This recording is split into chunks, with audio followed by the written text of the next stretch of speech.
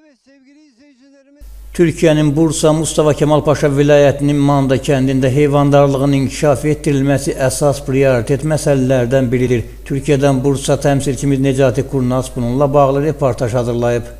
Evet sevgili izleyicilerimiz Türkiye'den Bursa Mustafa Kemal Paşa Manda Köyü Karaoğlan Mahallesi'nden saygılar, sevgiler diliyoruz bütün Azerbaycanlı izleyicilerimize ve Türkiye'deki izleyicilerimize. Efendim Türkiye'nin sayılı Manda e, köyü olan Karaoğlan Mahallesi'ndeyiz.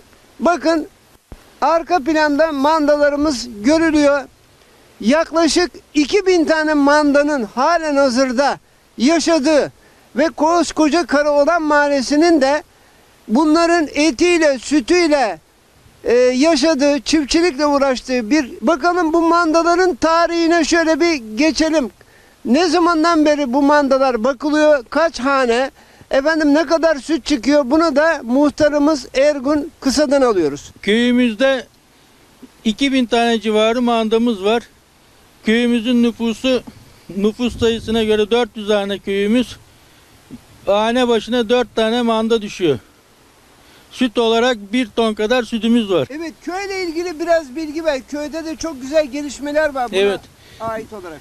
Manda şeyine yani köyümüzde Bursa Mustafa Kemal Paşa Karaoğlan Mahallesi'nde sadece bizim köyümüzde var bu manda. Mandayı yani üretmeye, potansiyelini yükseltmeye uğraşıyoruz daha.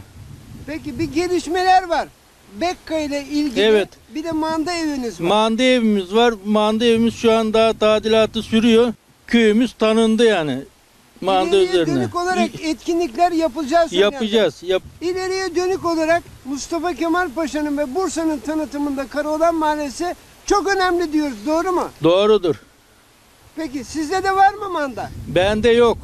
Bende yok ama Karaoğlan muhtarı olarak bütün şeyimi veriyorum yani. Her şeye arkasındayım yani. Ne gerekiyorsa yapacağız. Ne gerekiyorsa hepsini yapacağım. Peki bir de bu Karaoğlan Mahallesi'nin tanıtılması için yine bir yol çalışmamız var. Bu da devam ediyor. Evet. Kaç kilometrelik bir Bu yol? bu 40 kilometrelik bir yol. Bunun adı bu yolun adı bitmeyen yol. Hala da sürmektedir.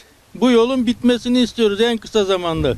Sonra bizim gençlerimiz Bursa'ya fabrikalara şey edecek, servisler gidecek, gelecek. Yani bu gençlerimiz için de çok önemli. Teşekkür ediyoruz. İyi günler.